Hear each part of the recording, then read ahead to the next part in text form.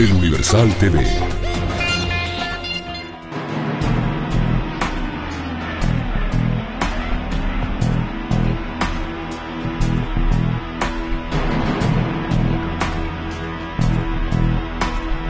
El expresidente municipal de Tuxtla Gutiérrez, Francisco Rojas Toledo, aparece en un video donde recibe fajos de billetes, presuntamente por la cantidad de 1.400.000 pesos.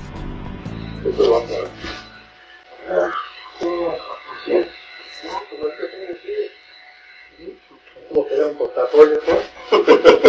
Miren, lo ganó, pero que no, cabrón. Creo que eso no me va a caber en la cartera. No, no, estoy que cambiar eso. No, sí, por la mañana estoy ¿sí?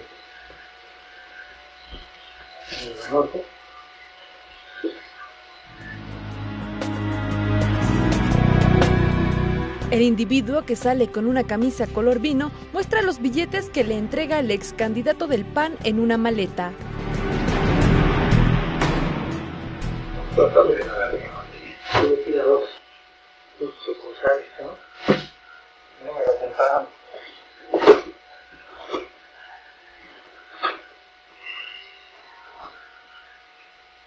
Pero eso. Ah, me regreso mañana. ¿Ah? Me regreso mañana. ¿No la mañana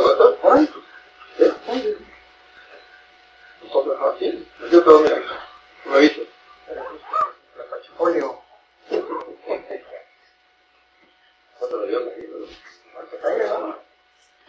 No, que el gerente me dijo así como que, ¿sabes? Me lo devolver, digo, ah, está bonito. Ah, sí. Contra cuatro. Así bueno, ¿eh? me dice, por lo regular es para cuando el dinero te queda, no cuando te da.